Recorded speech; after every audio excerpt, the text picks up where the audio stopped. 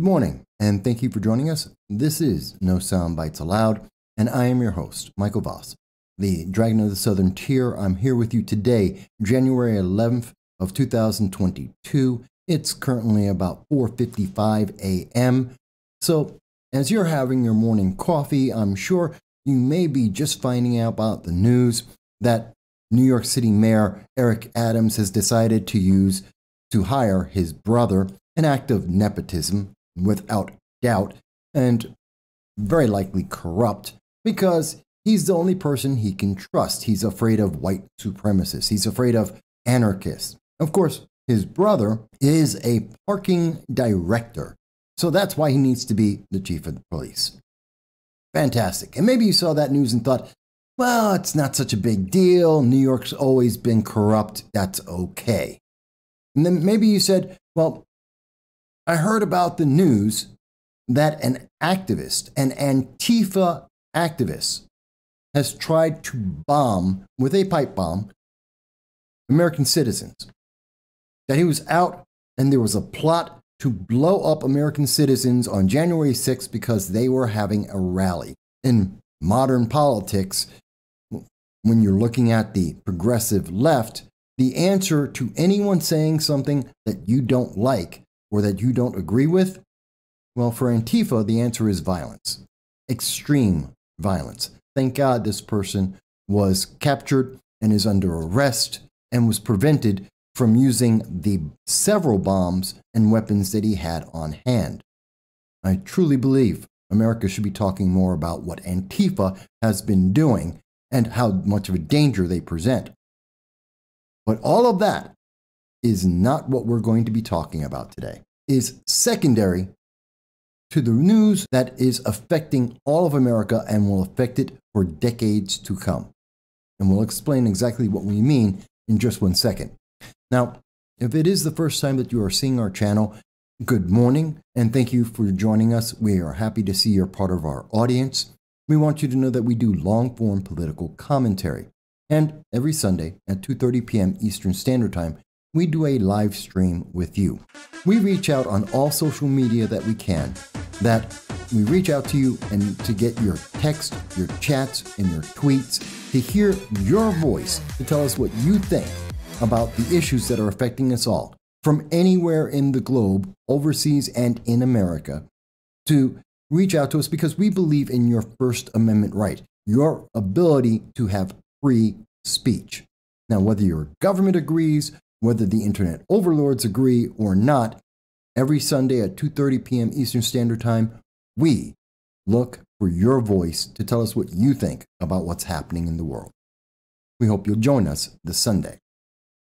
With that said, let's look at what's happening today. While you were asleep last night on January 10th, a lot happened around the world and almost all of it has to do with the United States and international policy. And this is important. Now, we've been talking about this for a while. We were telling you about this back on December 19th of 2021, the flawed policies of the Biden-Harris administration in dealing with Russia, China, North Korea, and Iran. And we then followed that up just about uh, what two weeks later when we were we're speaking with you on January 6th, last week, five days ago, telling you about the problems with the Chinese hypersonic uh, missiles, the launches by North Korea, and the problems at the Ukraine border with Russia, and the 100,000 troops that they have poised there.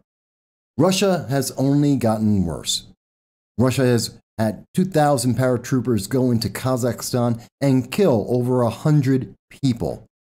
Russia is, in, is increasing its landmass, going back to the old days of the USSR, the old Soviet Union. And on the chopping block right now is the Ukraine. And the United States is looking at this. Well, they're looking to give up the Ukraine. We've heard for over a month now that the United States has been pushing the Ukraine to give up uh, just a little bit more of its land, to do just a little bit more appeasement, just like they did in 2014 under the Obama Biden administration, where they gave up the Crimea. And we know that talks happened yesterday, and they failed. They fell apart. Secretary Antony Blinken, ahead of the talks, had been saying that Moscow would face severe and massive consequences. But what consequences truly? Because as it was announced yesterday from the Washington Post, experts have questioned the extent to which financial measures would influence Russia, which is already under sanctions for the annexation of the Crimea, um, the malign cyber activity, and the treatment of opposition figure Alexei Navalny, who was poisoned last year and later imprisoned. Russia is not concerned. The Kremlin has been going forward and they are pushing. And we see that the United States is in a terrible position because the Biden administration right now is fighting with Germany. They're fighting with uh, the Ukraine, trying to twist them into an appeasement mode, trying to give Russia what it wants to prevent a war. Because the United States has already said they won't put any troops to, in to protect the Ukraine. That is a fact. And now we hear that the negotiations are about whether or not we will expand NATO, whether we will allow short and mid range missiles into NATO countries, that we will limit the amount of exercises we do with NATO countries. All of that meant to deter Russia from doing exactly what it is doing right now. As reported by Politico yesterday, that the Biden administration is going up uh, and going to Congress and trying to get the Democrats to stop the GOP from preventing $11 billion in spending and authorizations on the Nord, to Nord Stream 2 pipeline, a gas pipeline that is enriching Russia that is providing natural gas to Europe and specifically in Germany. The Biden administration is saying, no, you can't stop this. We have to keep this because it's a negotiating tactic. Well, it's not much of a negotiating tactic when this was something that was done against the will of many Americans and against the best interest of the United States. And that's why Senator Ted Cruz has been against this. In fact, Democrats have been against this. In fact, if we listen to Senator Jon Tester, um, a Democrat out of Montana, he mentions we've got to make sure if we do sanctions that the sanctions are focused on the problem and not collateral, affecting Germany and our allies in Europe. He went on to say that the Biden administration has to do a better job of messaging what the flaws are in Cruz's proposal. Because Senator Cruz has had support from Democrats in preventing the sanctions, the U.S. paying for a pipeline in Russia, especially when that very same Democratic Party, that same Biden Harris administration, shut down the U.S. pipeline with our ally, Canada. But yet we're funding the pipeline in Russia as Russia is using that position to its advantage to be able to then turn around and attack our friends and allies in the Ukraine and to place pressure against Germany. Senator Chris Murphy, a Democrat out of Connecticut, is lobbying Democrats to try and fight against Cruz and to ensure that Russia still gets the funding for the Nord Stream 2 pipeline, even as they have 100,000 troops on the border of the Ukraine. According to Senator Chris Murphy, I'm a big supporter of uh, President Zelensky of the Ukraine, but often he misreads American politics, and I think it would have been better for him to have stayed out of this one. This is not good policy for the United States to allow Ted Cruz to break us from our transatlantic partners in the middle of the delicate negotiation over the future of European Russia, Europe Russia policy. The Ukraine has sided with Ted Cruz and says, please stop the Nord, 2, Nord Stream 2 pipeline. Do not provide the $11 billion of funding that Russia desperately wants and needs. Do not go forward with this. Help us and protect us from Russia. And the Democrats are saying, no, Senator Chris Murphy goes on to say remember, this is a German government that switched their position. Why would you sanction Germany when they just switched their position to one we've asked them to undertake? They know that the Nord Stream has been used and will be used in the future against Germany and Europe. That this is a, while they do need the energy, since the United States won't provide it, since the Biden administration has made it almost impossible for the United States to provide liquid gas to Europe, something that we could actually do. But at the same time, what's more important to Germany and Europe? An empowered Russia that is grabbing land like crazy, or having the power? Well, they made their decision, and they understand that the price of gas is going up at this moment. Natural gas prices are going up because the Russia has already turned off their power. They're already turning off their energy. And Germany knew that walking in. And they're still saying, no, you have to get out of the Ukraine. You have to leave the Ukraine alone. But Biden is working against the Ukraine. They're working in favor of the Russian government as they are going on a land grab.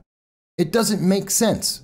And yet we're supposed to think that Russia is somehow afraid of sanctions while the Biden administration is making sure that no sanctions are being put on Russia at this moment to stop them from what they have already done, increasing violence and attacks and supporting the, the destruction of the Ukraine government on its eastern borders, they have no punishment coming from the United States because the Biden Harris administration is so weak that they're afraid to turn off the money flow. And we're supposed to think that Russia is afraid, that they're going to back down, that they're not going to wait until the Biden Harris administration twists the arm of the Ukraine until they give them more land but it gets worse because we're seeing that North Korea once again has fired another hypersonic missile. At the same time that we are negotiation in negotiations with Russia, obviously that gets the attention of the world and especially the Biden-Harris administration, and it makes them fold. Everyone is seeing that because that's exactly what happened in Afghanistan. The Taliban moved forward with their military might, and the Biden Harris administration folded and ran away. Russia is using the same tactic, and now North Korea has looked at that, seeing how it's potentially very lucrative. They are now firing their hypersonic missiles. And this hypersonic missile was even faster than the last one. Last week, they fired a hypersonic missile that moved at five times the speed of sound. Just yesterday, they fired a missile going 10 times the speed of sound, and both times they targeted the missiles just over Japan, our ally. So, this is a danger not only to South Korea, our allies and friend, even as Kamala Harris insults South Korea, wipes her hand in disgust in shaking the hand of President Moon of South Korea.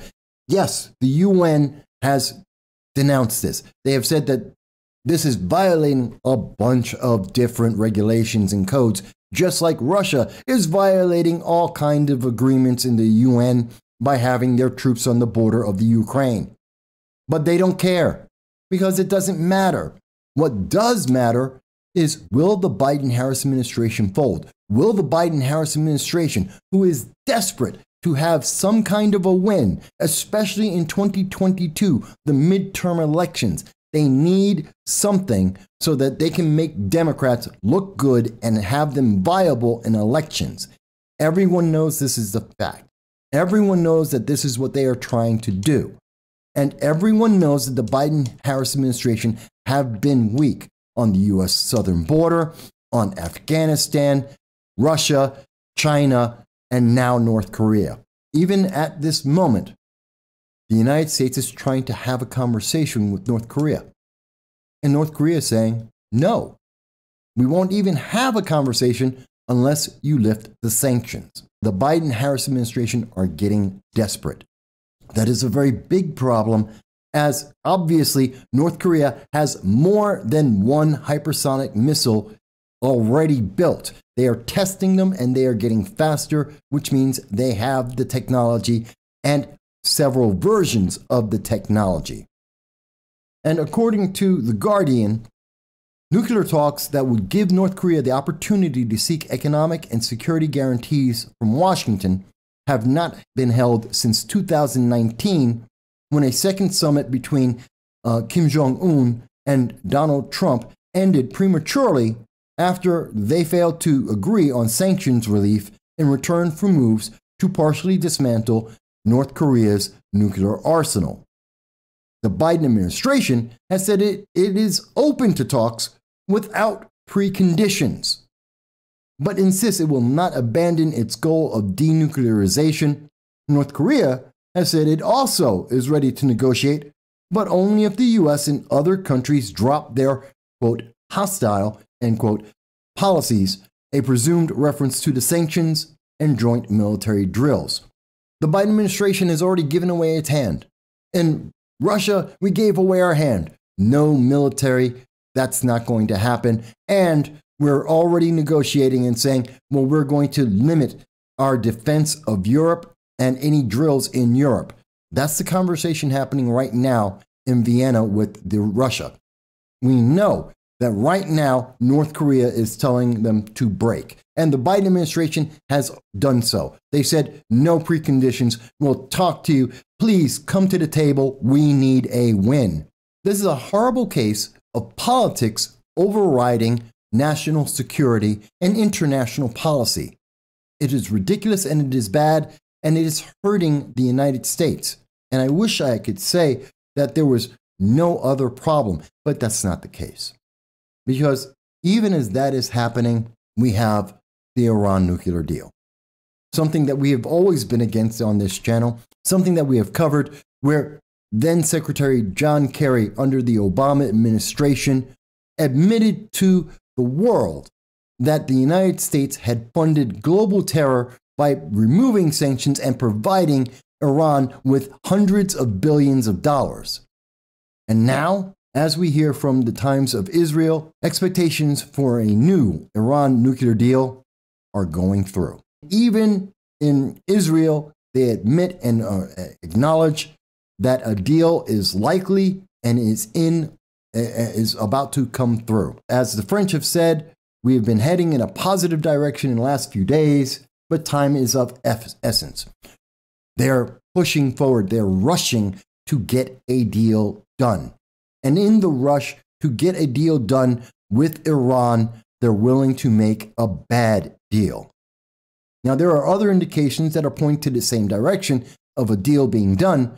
South Korea's Vice Foreign Minister Choi Jong Kun uh, visited Vienna last week to discuss giving Tehran 7 billion in Iranian assets that have been frozen which cannot be released without the US approval. Again, that's the United States releasing $7 billion. Even the Ayatollah Khamenei, who has said consistently, death to America, who has said consistently that Iran will make a nuclear weapon even with the Iran nuclear deal in place.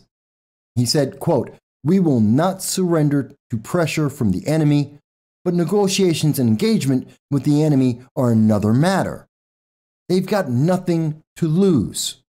There seems to be growing confidence in Tehran that Iran can live without an agreement if it needs to. Quote, then the, if they do go back to the deal, they can present it as not giving in, but we simply achieved what we wanted to, according to uh, an analyst, Zimmt. Iran has the flexibility. They are not in trouble. They are in the driver's seat here. Joe Biden needs the deal.